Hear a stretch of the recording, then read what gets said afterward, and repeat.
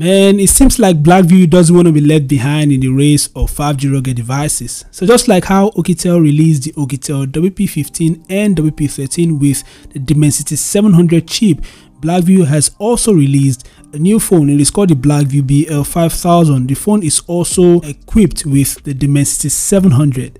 So as you can see guys, Blackview doesn't want to be left behind. Anyways, I'll be showing you guys the details of the phone. Make sure to like this video if you enjoy it and subscribe to the channel. So without further ado, let's head into it.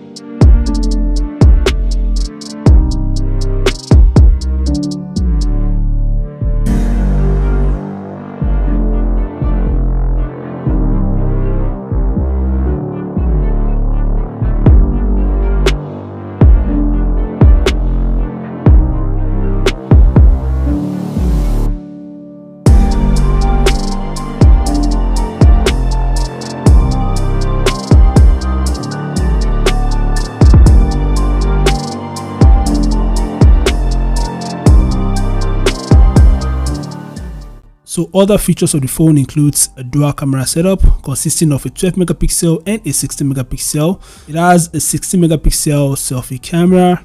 And having in mind that the phone has the Doke OS 2.1 which is Blackview's custom UI. Anyways, those are some of the few features that I was able to gather about the Blackview BL5000.